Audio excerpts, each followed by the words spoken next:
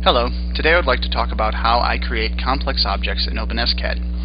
OpenSCAD is the programmer's solid modeler, and I'm a programmer, so I want to do it like I'd, I'd do it if I were programming.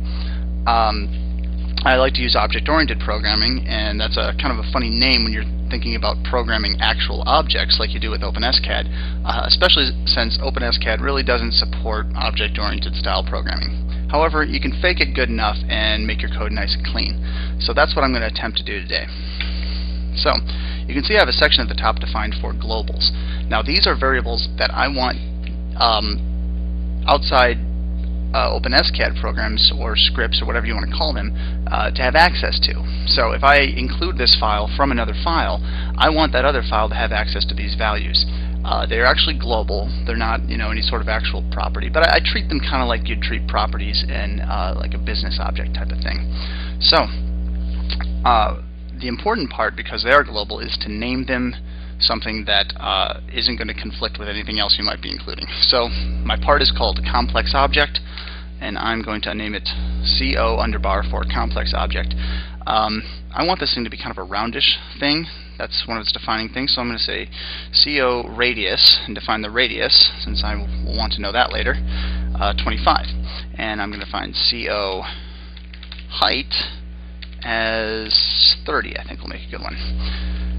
Now, uh, the actual object itself. I've found that probably the best way of doing an object, or at least an object that you plan on using a part for something, is to do it thusly. You want a difference. Oops, excuse me there, typo. Uh, you want a difference of two unions. So let me throw in both of these unions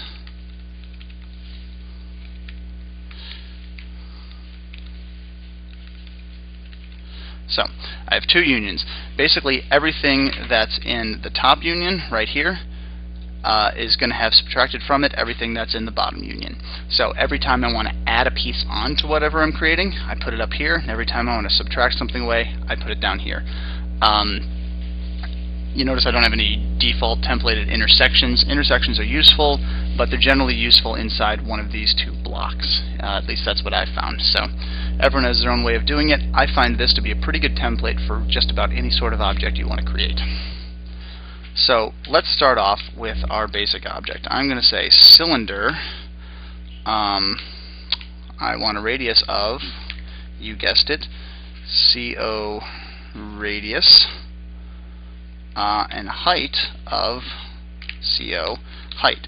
So first things first, it's not enough just to define your variables, you actually have to use them. Otherwise, it's really of no use to anyone. So you can see I have my basic uh, basic shape there. Hmm. I'm thinking I want this maybe bigger. I kind of want something flatter. There we are. We'll use that. Um, next thing I probably want on here is I want to do a loop some kind. So I'm going to say um, r equals let's say 0 to uh, 0 to 5, we'll say. Oops. Uh, now, you might be wondering what exactly I'm doing, and I will show you. I am going to do a rotate uh, I'm going to do it R times 360 divided by, sorry, my, my wife's uh, kind of leaving there, uh, and the dog's are going a bit crazy. She did not heed my warning that I am recording, so, that's nuts to me, huh? Um, so what I'm actually doing here is I'm setting up a, uh, a rotational translate, which is a big fancy word for doing, let's see, uh, translate it out that way, for doing, uh, uh, kind of hard to explain. Let's just put a cube out there first, and a cube of 10. And I'll show you what that does. basically it, it it rotates things out in a certain way and I should also make it center equals true sorry I'm kinda moving it so what that does is it takes from the center rotates it and then translates it out in a direction so and you can also see that if I were to change my radius here things still kinda match up the way I'd expect them to so this is how I'm doing that uh, but I kind of want this object to be different. Sorry I'm making my view smaller here.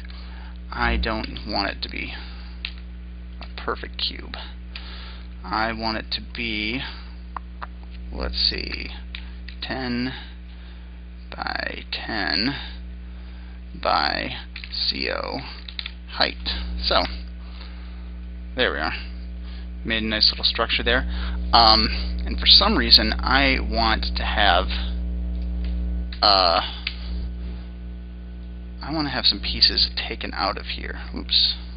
Did not mean to get rid of that. Just meant to copy that. So instead of this, I want, hmm, I need four screws in here.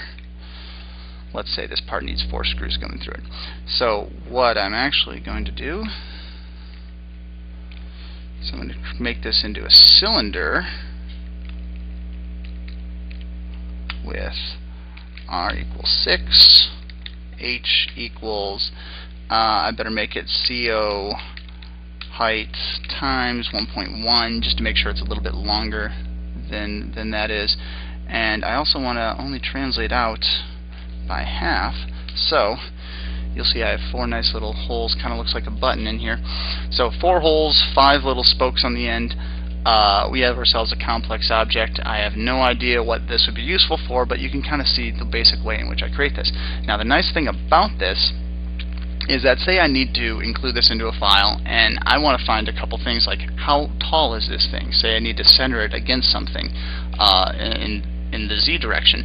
Well, I have my variable that says how tall it is. From any other file that I include this from, I can just call co height and that's exactly what it is, and therefore if I change this, it changes it in the other file. So clever use of these variables will always add to kind of better programming and more usable objects.